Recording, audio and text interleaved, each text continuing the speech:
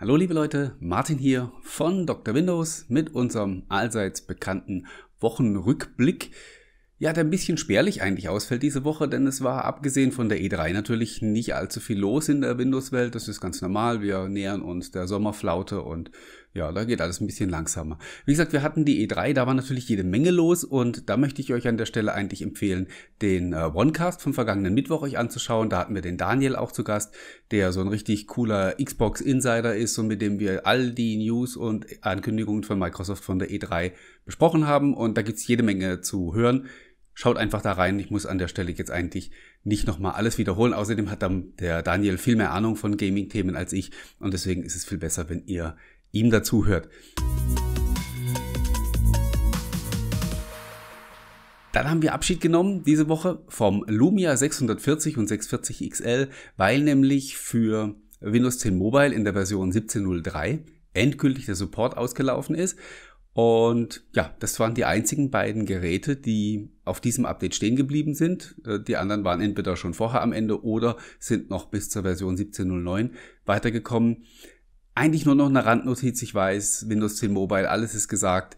Ähm, das System liegt in den letzten Zügen und ähm, ja, auch wenn es noch immer noch viele Fans gibt, die ihre Geräte liebevoll streicheln.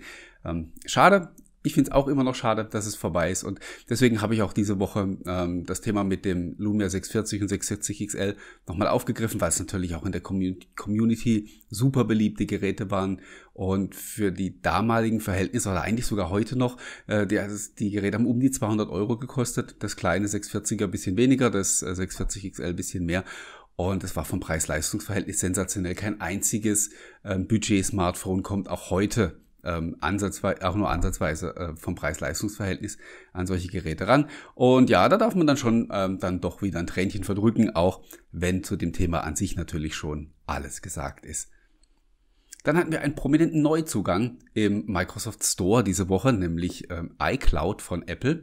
Da haben sich manche so ein bisschen verwundert die Augen gerieben, nämlich einmal so, äh, ja, dass Apple überhaupt äh, auf der Windows-Plattform noch in dieser Form nennenswert tätig wird. Das war die erste Überraschung. Die zweite war, dass man tatsächlich mit Microsoft zusammengearbeitet hat, um ein Feature analog den OneDrive Files on Demand äh, auch via iCloud für Windows zu realisieren. Und die, das dritte, wo sich dann viele tatsächlich gefragt haben, warum macht denn Apple sowas, ähm, ist, dass iCloud tatsächlich über den Microsoft Store ausgeliefert wird. Da gibt es eigentlich nur zwei mögliche Gründe entweder hat Apple noch gar nicht mitbekommen, dass Microsoft selbst gar nicht mehr so viel Gas gibt im Store.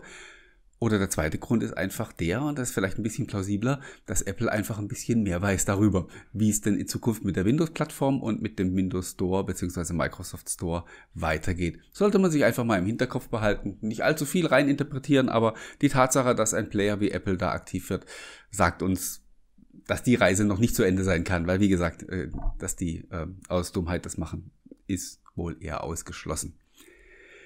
Das wäre es eigentlich sogar schon gewesen für diese Woche. Mehr ist nicht passiert. Das gibt uns aber Gelegenheit, über ein Thema zu sprechen, das die äh, vor allen Dingen die Windows Insider doch eine ganze Weile schon beschäftigt. Und zwar, wir hatten einmal in dieser Woche wieder ein neues Update für das 20H1 Update, also das Frühjahrs-Update für 2020.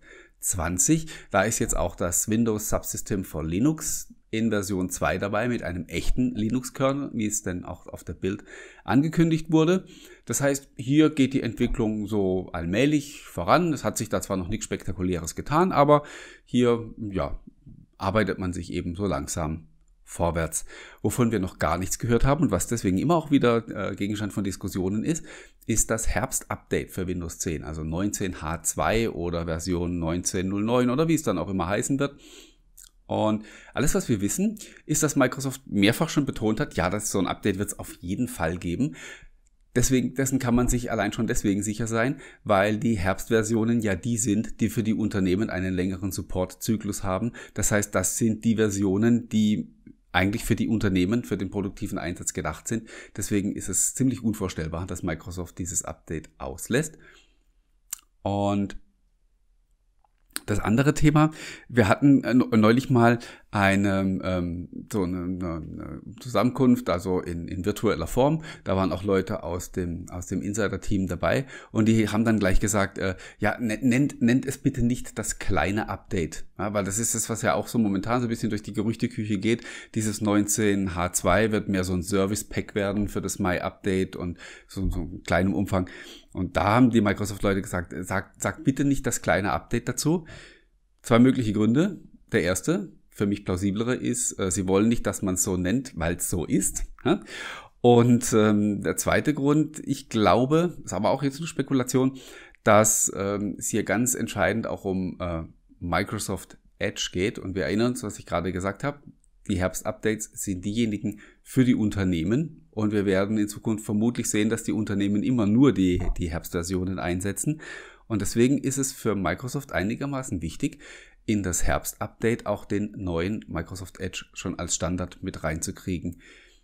Wie man den nachher aktualisiert, ist ja in Zukunft wurscht, weil der äh, neue Edge sich ja äh, einfach so im laufenden Betrieb aktualisieren kann, nicht mehr an die Windows-Entwicklung gekoppelt ist, wie das bisher der Fall war. Aber wenn man den Switch machen möchte, also den, den neuen Edge zum Standard machen und den, den alten zumindest so, sage ich mal, beiseite schieben, die Engine bleibt ja sowieso drin, das muss man natürlich im Zusammenhang mit einem Windows Feature Update machen und da ist quasi das Herbst Update die Gelegenheit, die man erwischen muss. Und ich glaube, dass wir noch nichts von diesem Herbst-Update gehört haben, auch nicht in, den, in Form von Insider-Versionen, hat ganz eng damit zu tun, dass man damit äh, stark beschäftigt ist, den Edge dazu integrieren. Ich gehe aber davon aus, dass, ähm, dass es dann doch jetzt bald die ersten Insider-Versionen geben wird, weil äh, wenn wir mal überlegen, wo wir normalerweise wären, wenn wir in dem normalen Entwicklungszyklus wären, dann wären wir jetzt schon in der Phase, wo dieses Herbst-Update so langsam Feature-Complete wird und äh, in die Stabilisierungsphase reingeht. Und wie gesagt, wir sind mit dem Insider-Programm noch nicht mal gestartet.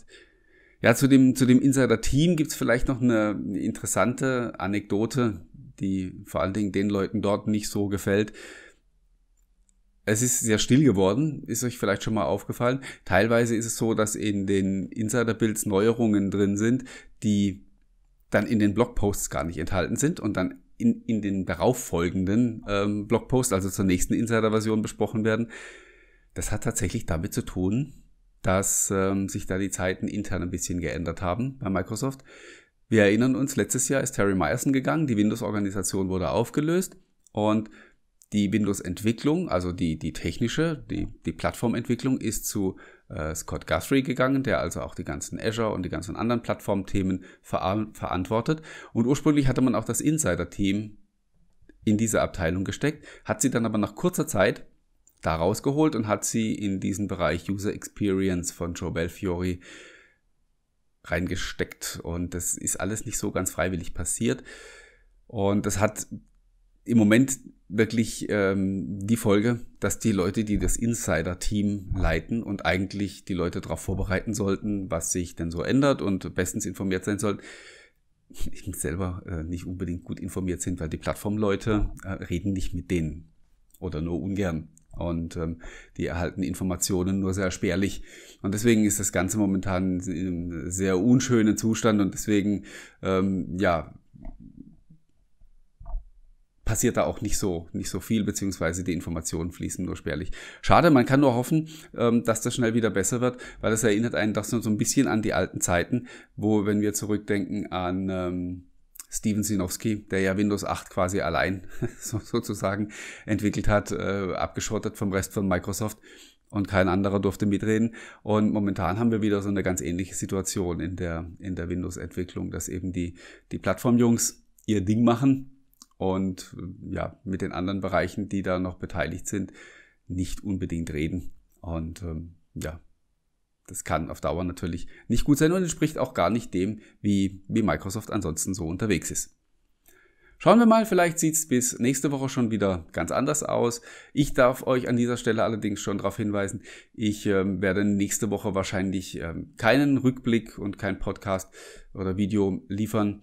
Ich bin ab Mitte der Woche äh, dann vermutlich auch so ziemlich ganz weg. Das heißt, äh, ich wird, ich nehme mir mal so ein paar Tage komplett frei und deswegen wird's nächste Woche keinen Wochenrückblick geben und in der zweiten Wochenhälfte auch generell auf Dr. Windows vermutlich sehr, sehr ruhig werden. Aber äh, wir werden es überleben. In diesem Sinne, vielen Dank fürs Zuschauen und fürs Zuhören und wir sehen und hören uns dann in der übernächsten Woche wieder und mal sehen, vielleicht ist bis dahin ja wieder was Spannendes passiert. Bis dahin, vielen Dank, ciao, ciao und bye bye.